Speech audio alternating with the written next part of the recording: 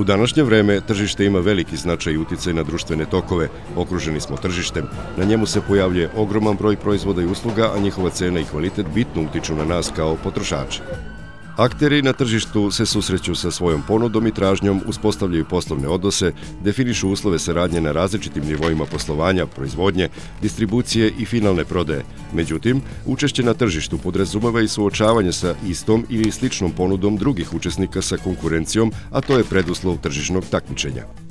Pravila igre u tržišnom takmičenju podrazumevaju borbu za poslovni uspeh putem povoljnih cena, boljih uslova prodaje i kvaliteta svojih proizvoda i usluga. Preduslov za fair takmičenje jeste ravan teren za igru, jednaki uslovi za sve takmičare. Nažalost, u praksi se javljaju povrede pravila igre od strane pojedinih tržišnih aktera kojima oni ostvaraju nefer prednosti ili čak eliminišu konkurenciju, Tu nastupa politika konkurencije. Ona obuhvata pravila i mehanizme delovanja državnih organa kojima se obezbeđuje zaštita konkurencije na tržištu. Pojava i razvoj politike konkurencije u Srbiji se presudno vezuje za početak i tok procesa evropskih integracija. Aktuelni zakonski okvir je, prema tome, izraz napora usklađivanja našeg zakonodavstva sa pravom Evropske unije i na tom planu je ostvaran značajan uspeh u proteklih 10 godina. Na institucionalnom planu ključni događaj je osnivanje i rad Komisije za zaštitu konkurencije, samostalne i nezavisne institucije nadležne za nadzor nad tržištem radi sprečavanja pojava povrede konkurencije i kontrole koncentracija tržišnih aktera.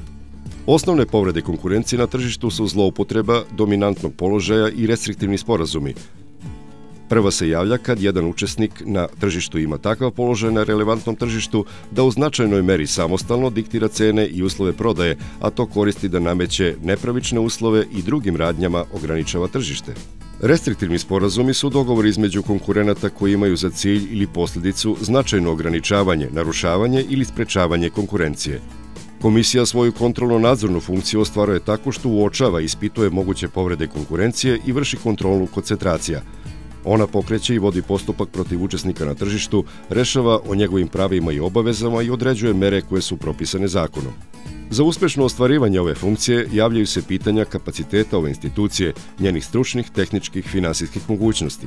U dosadašnjoj praksi suzbijanja povrede konkurencije mogu se uočiti tri grupe situacija. Usled nedovoljnih kapaciteta komisija ne uočava povredu i zbog toga je stanje na tržištu nepromenjeno. Drugo, povreda je uočena i preduzeta je mera, ali se pokaže kao nedovoljna ili pogrešna. Treća situacija je uspešno uočena povreda, pravilno primenjen zakon i izrečena odgovarajuća mera kojom se otklanja povreda i njene posledice.